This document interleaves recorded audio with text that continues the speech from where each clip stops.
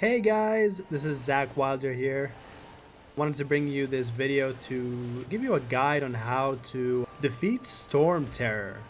I, I had some challenges uh, defeating this boss earlier on because I didn't know which lineup or which setup that I should use, which characters fitted the uh, game style and the waves of attack that this boss presents. But um, yeah, so I wanted to skip through this since it's quite easy to figure out. Just basically dodge the uh, incoming electric waves or bullets. Shoot the portals so that you can get an speed acceleration. It's, it's, it's pretty much straightforward from here. The most challenging part is coming up next, uh, which is the, uh, uh the main fight against this boss.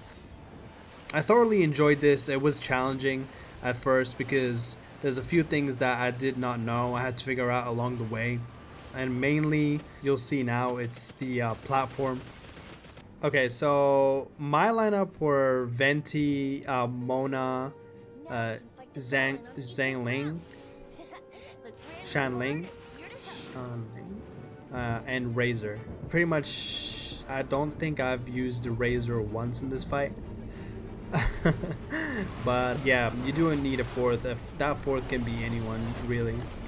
Alright, so the most important thing, guys, here is you gotta pay attention to the pattern of attack that this boss imposes. The best optimum first hero is a ranged hero. Uh, that's why I opted with Venti. A Venti or Amber would do, but uh, Venti did more damage for some reason even though they're both of the same element. They're both wind, the boss and Venti. So, so this is one of the attacks uh, that he channels. It's like a whirlwind. It always starts from the left. If you pay attention, it always starts from the left. I've never seen it start from the right. so as soon as you see him do that motion, you you gotta jump to the right, dash, dash, and then uh, attack the claw as much as you can. Bring that shield down so that he drops the minute he drops, he exposes himself on top. Uh, get the most damaging hero that you have, your DPS, and um, save the special for that moment. Uh, as you can see, I did more than half damage just by one hero. I didn't even switch my heroes.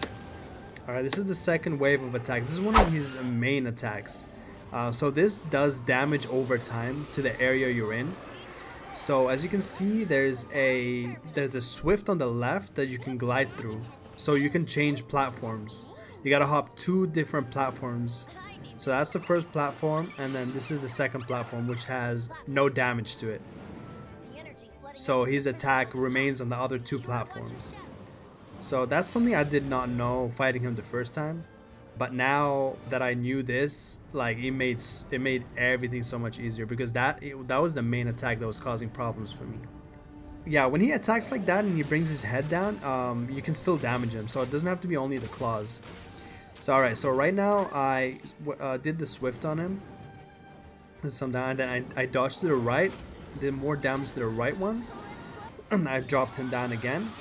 And this is here, you can climb up, climb up his neck, and then as soon as you yeah as soon as you're up there um, if you have a hero that can deploy or summon any kind of uh, moves like pets uh, then um, I would highly suggest it because it does damage over time and it does sustained damage. Like the damage uh, is consistent.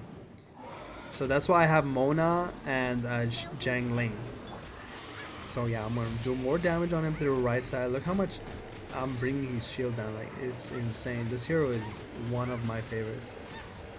And once again for the final sweep, and this is how you end it. Pretty much, it's very simple. And if you have special attacks, save them for the top like that, and uh, voila, he is defeated. Easy peasy, lemon squeezy. All right, guys. So if you if you don't want to have any spoilers, then I suggest you skip this. Uh, but uh, yeah so that is it for the video guys. If you have any questions or any uh, suggestions on what heroes anyone else should use please leave them in the comments below and let me know what you think. All right it was a pleasure guys. Uh, thank you so much for watching. Uh, until next time have a good one